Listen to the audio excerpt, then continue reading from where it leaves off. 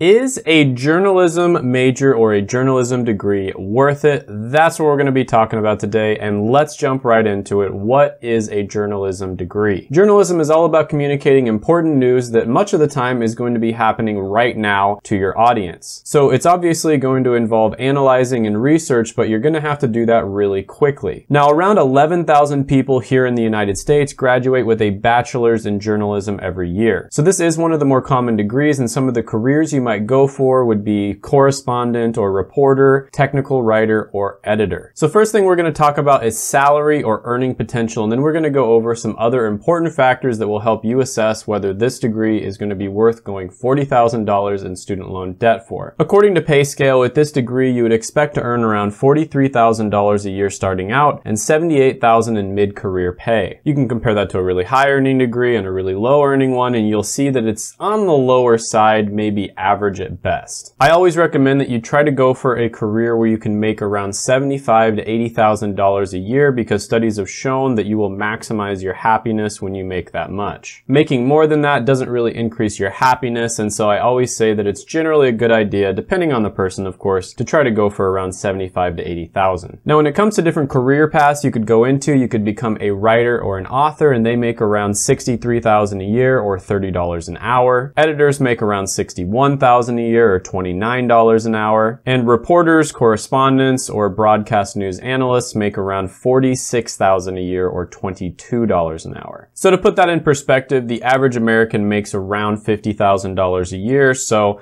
this is below average if you want to become a news correspondent or a reporter, for instance. and that $50,000 number includes people who haven't gotten degrees. It even includes people who didn't get a high school diploma or didn't even go to school at all. Now, journalism is basically a communications major, and when you look at how much those majors make over a lifetime, you'll see that they make around $2.3 million, and the average major makes around 2.4 million, so it's below average. Now keep in mind, this was census from, you know, the last 40, 50 years of data. You know, the next 40 or 50 years could be completely different. Maybe journalism is the best major 50 years from now. But overall, it is a sign that it's not great. It's also not horrible. There's lots of majors out there where you would make worse money, but I'm gonna have to give this one a 7 out of 10 when it comes to salary. Next, we're gonna be going over satisfaction, which is extremely subjective. I like to focus on job satisfaction as well as meaning, and job satisfaction is pretty self-explanatory, and meaning is basically how much you think your career positively impacts the world. So for meaning, a journalism degree scored around 45%, and you can compare that to a really good one and a really bad one, and you'll see that it is below average. If you look at specific careers, editors have a meaning score of 42% and their job satisfaction is 65%, which again here, meaning is going to be below average, but job satisfaction is maybe slightly above average. And this of course is when you compare it to a really high scoring one and a low scoring one. Now when it comes to how much people regret getting their college degree, journalism is a communications major and they are the fifth most regretted type of degree. And the main reason people regret this is because the skills that you learn with a communications or a journalism degree tend to be a little bit too general. Not to say that these skills aren't valuable, of course, communication is very valuable, but a lot of the time, the type of communication that you're gonna have to get good at is going to depend on what your job is or what industry you go into. So for instance, learning how to communicate on YouTube videos, learning how to make YouTube videos would be completely different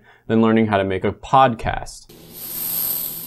And same thing with being a journalist, maybe writing blogs or something along those lines. That type of communication is going to be completely different. I think in our changing world, you also have to expand this out to things that are outside of your traditional careers, like becoming a journalist or a reporter. A lot of the time, learning good communication skills can be a great segue into becoming a content producer of some sort, maybe starting a YouTube channel, a blog, a podcast, etc. And I think a lot of the careers you would go into, both traditional as well as non-traditional, would be relatively relatively satisfying. However, this is very subjective. Like I said, it could have everything to do with the people you work with, the career you work in, how much research you did, uh, the industry you work in, the company you work for, etc. So it's extremely different depending on the situation and the personality. For one person, it could be a 1 out of 10 or a 10 out of 10. And so I'm going to go ahead and give this one an 8 out of 10 overall. Next, we're going to be talking about demand. And this is basically how much demand there is on the job market for people who have these skills. So for instance, a writer or an author, there's around 131,000 jobs available right now, and over the next 10 years, it's going to decline by 2%. For editors, there's 118,000 jobs available right now, and over the next 10 years, it will be declining by negative 7%. And for reporters, correspondents, and news analysts, there's 52,000 jobs available right now, and over the next 10 years, negative 11%.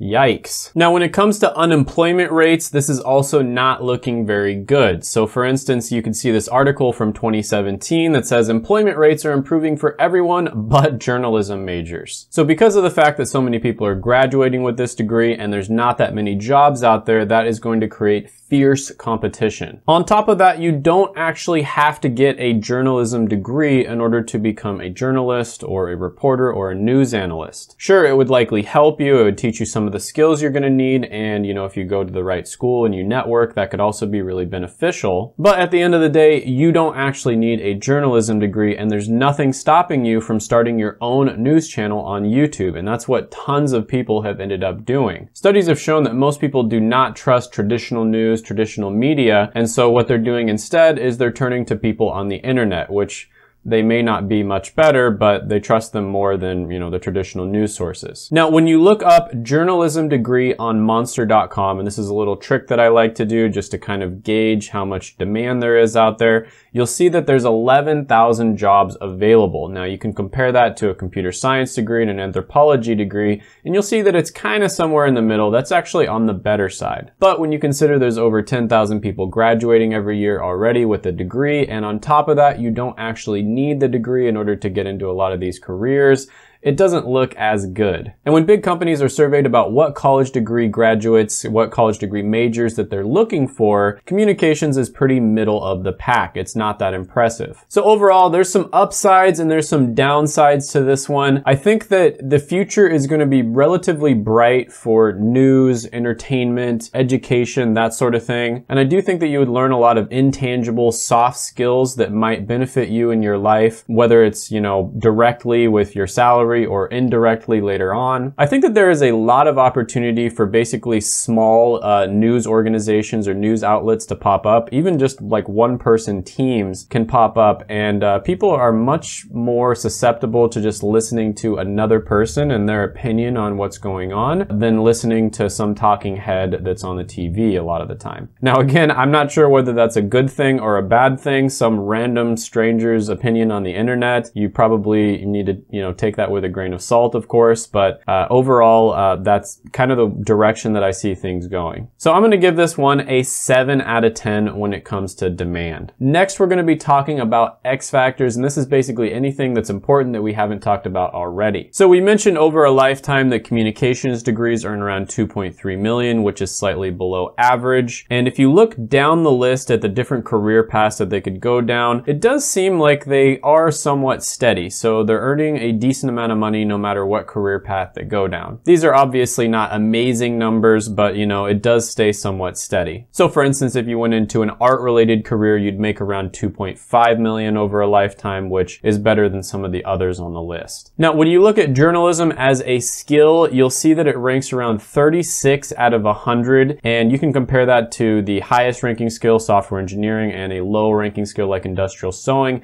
and you'll see that it's definitely on the lower side. So basically what this means is journalism is not one of those skills that's highly sought after, at least on the job market. Again, I think this is a skill that's valuable, it has value, but when it comes to businesses, you know, hiring managers and business owners looking to hire people, it doesn't look very good. Now, there is a bright side here. When it comes to the chances that these types of skills are going to be automated, they're very low. You know, journalism is a communications degree and there's a very human element of communication that I don't think you'd ever be able to to program into a robot, for instance. I could be wrong about this. Maybe someone's gonna, you know, look at this video a thousand years from now and laugh at me, but I don't think we're ever gonna see robot comedians, for instance. I found out people didn't get my joke. And when you look at reporters and correspondents, it shows there's only about 11% chance that they are automated. On top of that, journalism isn't going to be one of the harder degrees. Now, I guess you could say that could be a positive or a negative, depending on the perspective that you're coming from. But there's some degrees out there that just have have really high dropout rates because of how difficult that they are. So it's something that you want to keep in mind. But like I said here, when it comes to the X factors, a lot of it is not going to be looking that good. I'm going to go ahead and give this one a 6 out of 10. So the overall score when you add everything up and divide it by 4 is going to be 7 out of 10. You can make this degree work for you if you really do your research and you know exactly what career path you're going for. I would say for many people it's not going to be worth it just because of the fact that the jobs that you're going for you could absolutely get without getting a college degree or you could get a different college degree and still get that job. The trend that I mentioned earlier where a lot of people are just starting up their own news channels basically on YouTube and other websites, it's really big honestly. Like a lot of people are having a ton of success doing that. And so you don't necessarily have to go the traditional route of getting a college degree in order to be a reporter or an investigative journalist or anything like that. So I think these are very valuable skills, being able to do research, uh, report on breaking events. Uh, that's never going to go out of style. That's going to be something that